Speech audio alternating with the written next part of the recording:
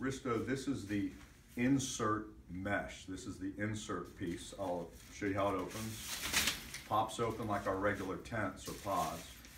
You'll notice there's no uh, roof to it. There's no floor to it because really this is an insert to turn our normal pods, as you can see, into